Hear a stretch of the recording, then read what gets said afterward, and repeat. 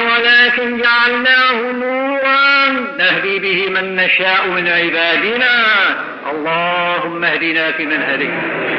فبهذا النور يهتدي العقول والقلوب فتهتدي أي تصل الطريق إلى الله وإلى الحق. وإلى كل خير أنت تهتدي. أما بلا نور أنت في ضلال.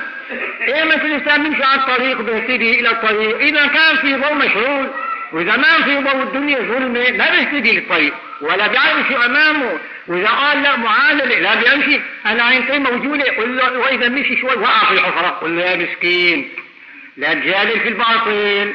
إذا يا إنسان القرآن هو نور للأمر للقلوب ونور للعقول ونور الأفكار وما تستغني عنه كما لا يستغني البصر عن النور الخارجي.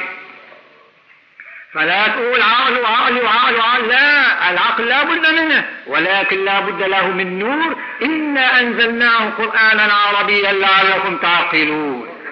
وهذا يدلك على أن جميع ما جاء به القرآن من أوامر ومناهج. ومن ومن كله هو في منتهى تعقل العقول. منتهى العقل يصل إليه وهو معجز للعقول. يعني أن من تعقل صحيحا وصل إلى التسليم. وعرف أن هذا مقبول ومعقول ولكنه جاء بما يفهم ويعجز العقول يا إنسان لأنه حكمة الله.